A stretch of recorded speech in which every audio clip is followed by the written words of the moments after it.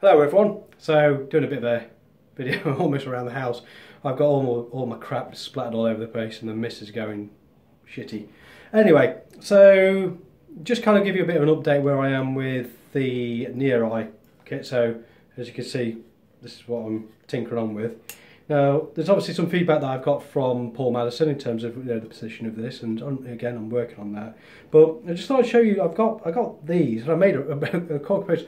I thought I was ordering one of these, and um, I bought a pack of ten. Whoops. So so yeah, I've got a fair few of these lurking around. But the the the idea is I've got some other. If I can just whiz this part quickly, and again, please forgive this. This is not this is a prototype, and as all prototypes are, they kind of just give a bit of a feeling of what can go together. So I've got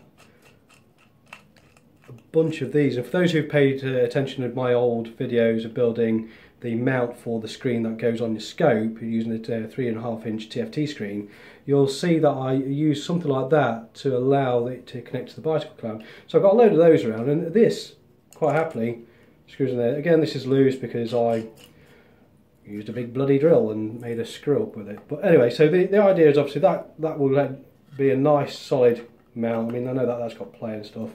And then your camera will then go on that. Now, at the moment, I think I'm in a bit of a competition with the young Paul Elliott on the Night Vision Builders group because he's headlong into 3D design and a another variant of this of you know, positioning the camera, uh, sorry, yeah, the camera no, wrong thing. The screen, see that's another bloody blooper.